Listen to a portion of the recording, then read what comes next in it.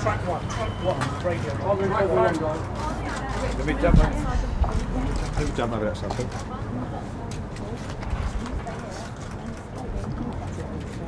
Ready? Could, could I ask you, sir, just to go towards the microphone so we bit?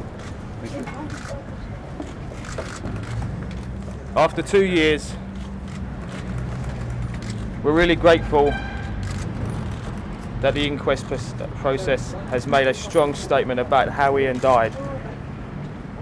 We're grateful to the jury, the coroner, and we think the jury findings speaks for itself in the verdict of unlawful killing.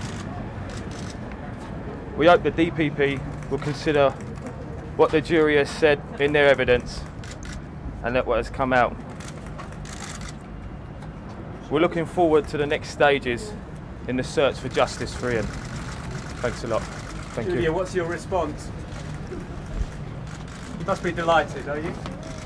Um, You know, we've got a long way ahead a of long us way still. to go yet. You know, we've been let down for two years and this is the first bit of hope we've had, so we just keep it amongst ourselves, you know. And Paul, what do you think this verdict says about the way in which this protest was policed? it shows that it, I don't know, you know, just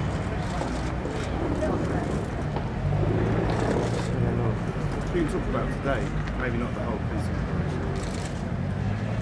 You know nothing about this. You know, the protest, it was all new to us, and now it's just like every time we hear protest, it automatically assumes us, makes us think of our dad, you know. But um, no, that we're grateful that we're going a step further than we did two years ago or a year ago. So, Paul, what was it like when you heard the verdict? What was that moment like? you know, it was nice. It was good, a bit of closure for the family, you know. A bit, it feels like something's being done by by some sort of authority, you know, and hopefully we'll get the right answers when it goes back to criminal proceedings. This is obviously, you say this is the first step in, in, in the quest for justice. What else would you like to see done? What, what would make you feel that justice was done properly? Well, it's been proven today that he was called killed unlawfully.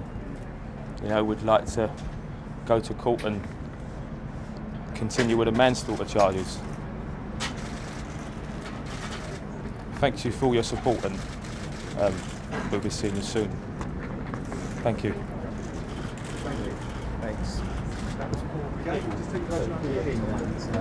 Giving a verdict of large family as they leave. It is a matter of deep regret that the actions of an MPS officer have been found to have caused the death of a member of the public.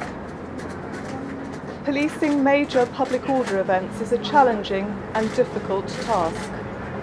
It has been demonstrated in this case that all officers are accountable for their actions, and we would not want it to be any other way.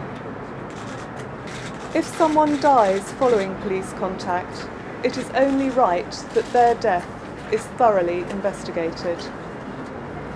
It is in the best interests of all affected that the facts of what happened are fully established, and the MPS has fully supported and cooperated with the independent IPCC investigations.